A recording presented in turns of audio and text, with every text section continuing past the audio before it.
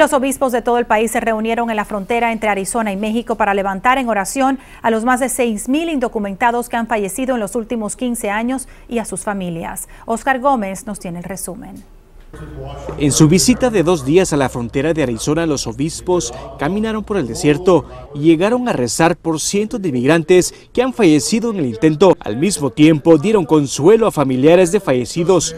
Totalmente, no, no puedo decirlo en español, uh, me siento anonadado del dolor, de la pena, de la desesperanza, eh, de la falta de justicia.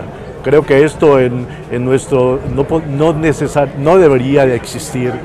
Yo pienso que el dolor de las familias separadas eh, llora hacia el cielo. En la misa estuvieron presentes migrantes de ambos nogales. Aquí rezaron y pusieron una corona en honor a todos los fallecidos. El resultado es que te, que vemos la tragedia de nuestros hermanos y hermanos en directo, en vivo y en directo, de, en las situaciones, porque fuimos a caminar por el desierto y a ver todas las eh, circunstancias en las que nuestros miles de hermanos y hermanas tra, intentan atravesar. Los... Activistas que participaron de la misa vieron con buenos ojos la visita de los religiosos y esperan que ayude de alguna manera a favor de la comunidad migrante en el desierto cada año y tener este reconocimiento del dolor de estas personas es sumamente importante.